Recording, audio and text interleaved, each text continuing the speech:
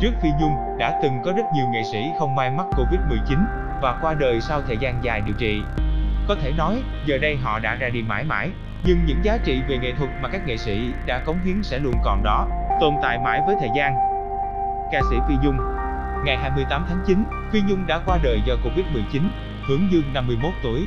Rất nhiều bạn bè và đồng nghiệp cũng đồng loạt bày tỏ niềm thương tiếc vô hạn trước thông tin này. Trước đó, Phi Nhung điều trị Covid-19 ở Bệnh viện Gia An 115 từ ngày 19 tháng 8.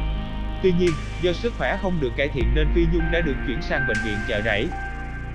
Ca sĩ Y Giang Tuyên Ca sĩ Y Giang Tuyên đã rút hơi thở cuối cùng tại Bệnh viện Chợ Rẫy vào lúc 8 giờ 17 phút sáng ngày 20 tháng 9, hưởng dương 43 tuổi. Được biết, nam ca sĩ có bệnh nền cao huyết áp.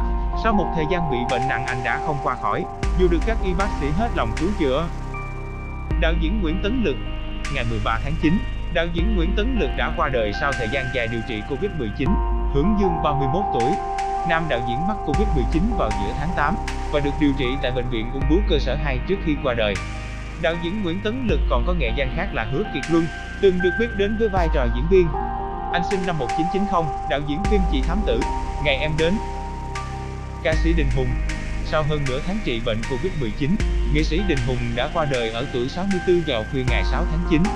Được biết, nghệ sĩ Đình Hùng là giọng ca nổi tiếng ở thập niên 1980. Ông gắn bó với đoàn ca nhạc nhẹ Sài Gòn, từng cùng các nghệ sĩ lưu diễn tại các nước Nga, Ba Lan, Hungary và một số nước Đông Âu năm 1987. Nghệ sĩ Bạch Mai Đêm 25 tháng 8, nghệ sĩ Bạch Mai đã qua đời, hưởng thọ 73 tuổi. Trước đó, vào tháng 7 năm 2021, nghệ sĩ Bạch Mai từng phải nhập viện vì suy sụp sau khi em gái là nghệ sĩ Kim Phượng qua đời vì Covid-19. Được biết, nghệ sĩ Bạch Mai từng phải điều trị Covid-19 nhưng đã âm tính.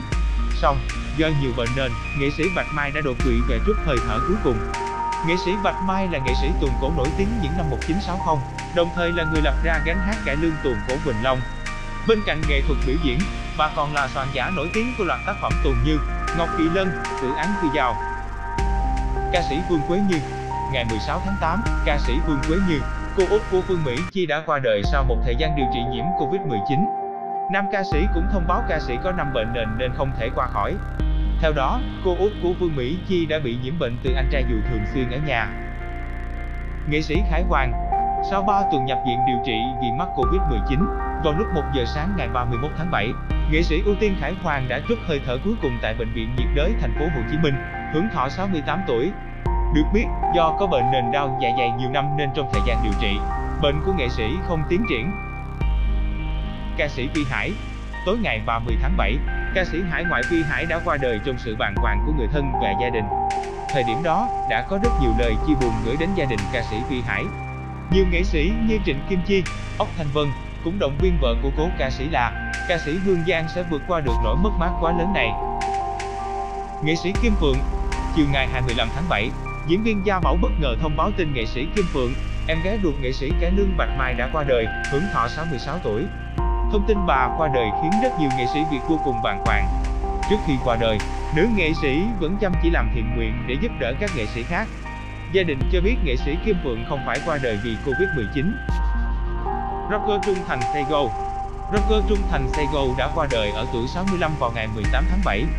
Theo chia sẻ của người thân, nam nghệ sĩ không may qua đời trong lúc đang điều trị Covid-19.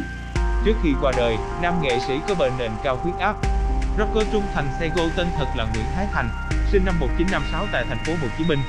Nam nghệ sĩ là một trong những người gắn bó phong trào rock Sài Gòn những năm 1970. Bên cạnh đó, Rocker Trung Thành cũng được biết đến là tay chơi guitar một thời của ban nhạc Sego Matter.